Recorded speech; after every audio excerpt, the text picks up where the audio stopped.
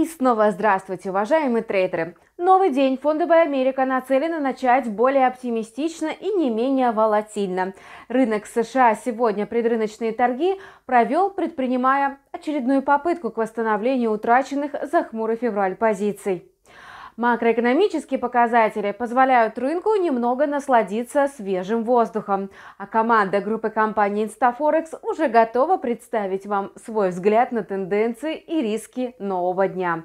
Это свежий обзор рынка США. Здравствуйте! Падение акций банков привело к снижению Уолл-стрит в понедельник поскольку инвесторы беспокоились об эффекте домино. При этом торги были нервными, неоднозначными и завершились для индексов разнонаправленно. К звонку о закрытии бирж промышленный индекс Доу Джонса отметил скромное снижение на 90 пунктов. Это 28%. Технологичный NASDAQ смог завершить сессию на выигрышной позиции, прибавив 45%. А вот S&P 500 изменился мало и закрыл торги ниже на 15% у высоты 3855 пунктов. Внутридневные торги вторника ключевые индексы США провели довольно вяло, но после выхода свежих данных по инфляции заметно ободрились. Фьючерсы на биржевые топы выросли на 1,3%, а, сигнализируя о мажорных перспективах на сессию. Что касается прогнозного диапазона, то он для S&P 500 очерчен в границах 3850 и 3990 пунктов. Внезапное закрытие э, Silicon Valley Bank в пятницу после неудачного увеличения капитала заставило инвесторов обеспокоиться рисками для других банков из-за резкого повышения ставок ФРС в прошлом году. Но многие предполагали, что теперь Центральный банк может стать менее ястребиным, и доходность двухлетних казначейских облигаций упала. Баланс страха и надежды был лейтмотивом торгового понедельника. Защитные коммунальные услуги выросли на 1,54%, показав лучший результат из 11 основных секторов S&P.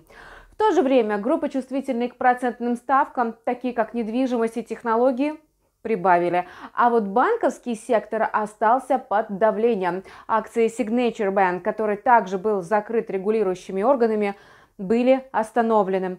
NASDAQ заявил, что они останутся таковыми до тех пор, пока запрос биржи на дополнительную информацию не будет полностью удовлетворен. Акции First Republic Bank упали на 61,83%. Western Alliance и Pac West Bank Corporated упали на 47 и 21% соответственно. Торговля акциями несколько раз приостанавливалась. Чарльз Своп упал на 11,5% после возобновления торгов, после того, как компания, предоставляющая финансовые услуги, сообщила о 28% снижении среднего баланса маржи и 4% падении общих клиентских активов за февраль месяц. Акции крупных банков США, включая JP Morgan, Citigroup и Wells Fargo, потеряли свои позиции. Банковский индекс S&P упал на 7%, что стало самым большим однодневным процентным падением с 11 июня 2020 года. Крупные банки США потеряли около 90 миллиардов долларов на фондовом рынке в понедельник. В результате этого их убытки за последние три торговых сессии составили почти 190 миллиардов долларов. При этом кардинально изменились ожидания в отношении действий Федрезерва. Трейдеры в настоящее время в основном оценивают повышение процентной ставки ФРС на 25 базисных пунктов в марте, делая ставки на то, что Центральный банк сохранит процентные ставки на их текущем уровне 44,4%. Еще более поразительным является тот факт, что те же самые рынки теперь подозревают, что весь цикл ужесточения ФРС может быть завершен, оценивая пиковые ставки всего на уровне 4,71%, что ниже верхней границы текущего целевого диапазона в 4,75%. Турбулентность на рынке отразилась и на индексах страха. Ночью индекс волатильности WIX приблизился к 6-месячным максимумам.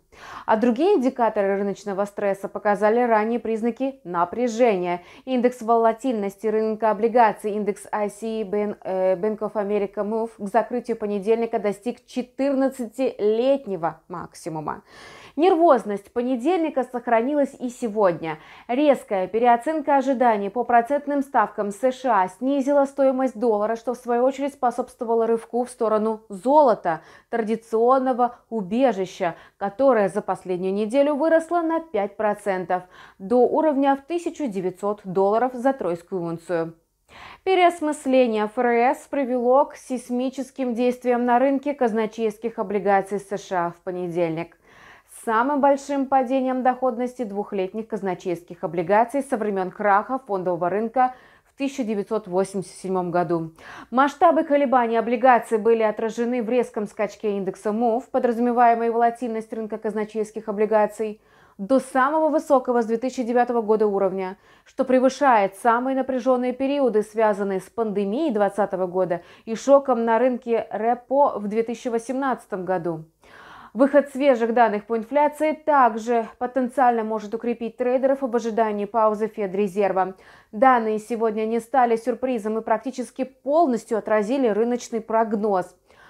Годовой уровень инфляции в США замедлился до 6% в феврале с январских 6,4%, что является самым низким показателем сентября 2021 года и соответствует прогнозу рынка.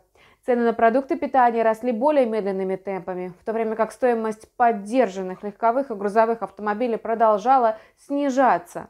Также резко замедлился рост цен на энергоносители. С другой стороны, быстрее росли цены на электроэнергию и жилье.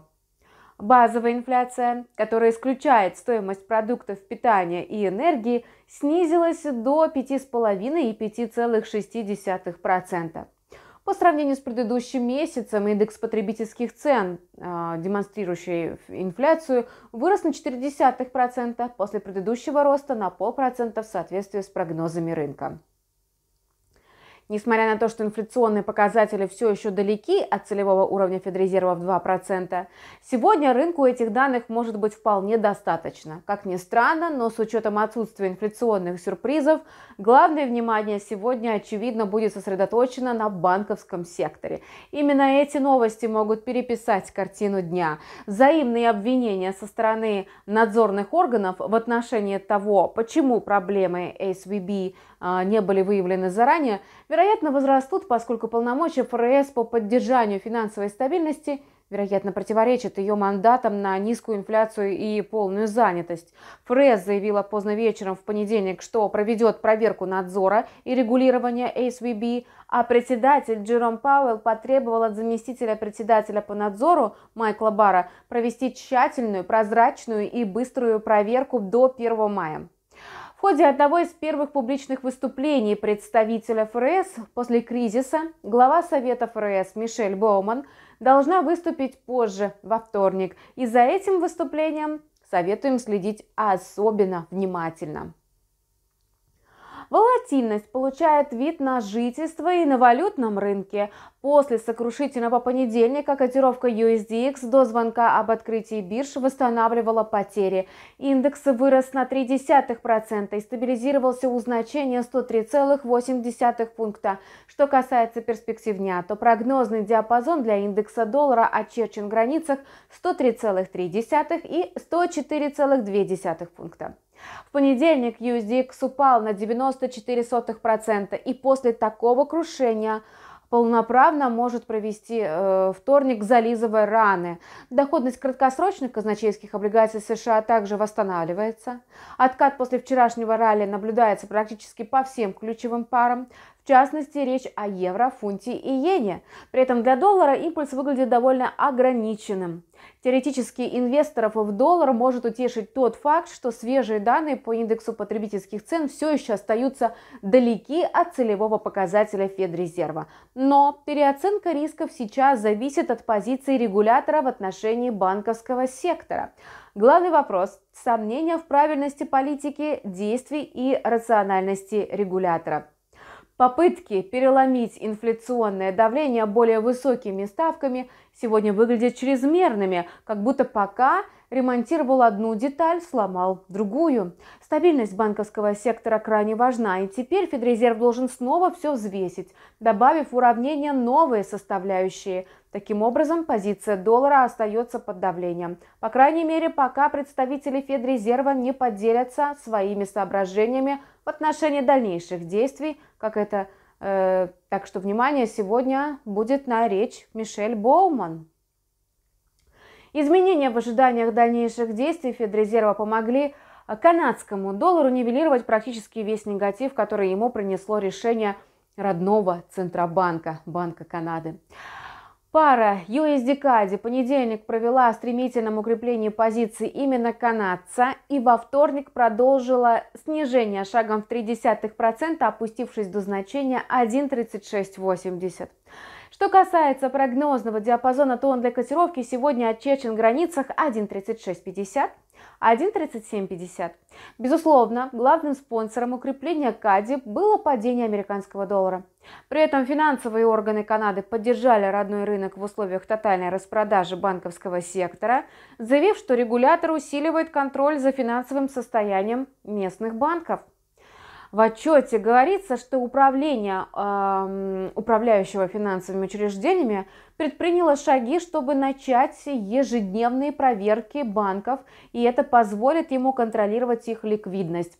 Канада в воскресенье взяла на себя временный контроль над подразделением э, Silicon Valley Bank в стране, добавив, что стремится получить постоянный контроль над активами канадского филиала по-прежнему продолжает сдерживать рост канадского доллара и падение нефтяных котировок.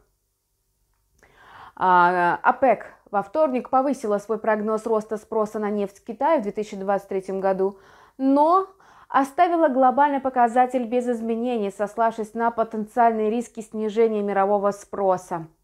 Итак, фьючерсы на нефть марки Brent подешевели на 1,7% до 79 долларов 30 центов за баррель. WTI при этом упала на 2,5%. Итого в понедельник Brent и WTI упали до минимума с начала января и декабря соответственно. Криптовалютный рынок вторник провел, продолжая демонстрировать чудеса стойкости. Биткоин внутри дня смог укрепить рост еще на 5,7%, достигнув значения в 25 900 долларов.